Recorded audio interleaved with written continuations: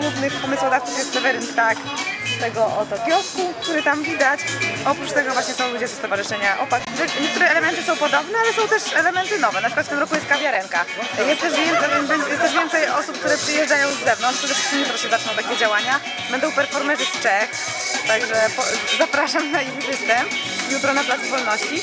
Oprócz tego y, to, co jest jakby podobne, to to, że są jakieś takie warsztaty plastyczne. W tym roku tym, tematem przewodnim jest ramka i akcja wyjść poza swoją ramę. Y, używamy ramek, które były zbierane tutaj w kiosku przez jakiś miesiąc.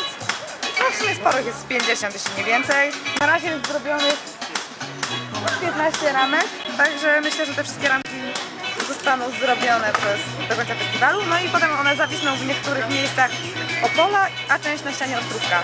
E, Jest dzisiaj też akcja odlewy, która tam, akcja odlej się. E, Można odleć sobie którąś część ciała w gipsie.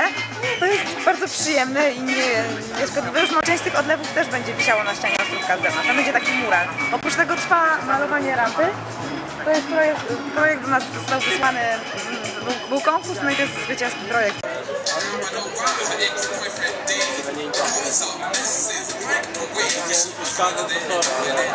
To będzie również atrakcyjnie, będzie się wiele więcej działo. Przede wszystkim stałe ekspozycje jak ramka Odlej siebie.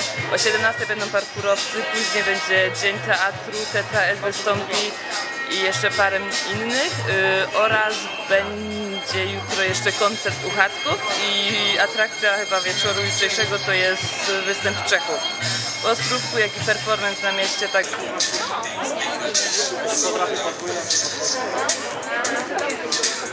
Wiadomo.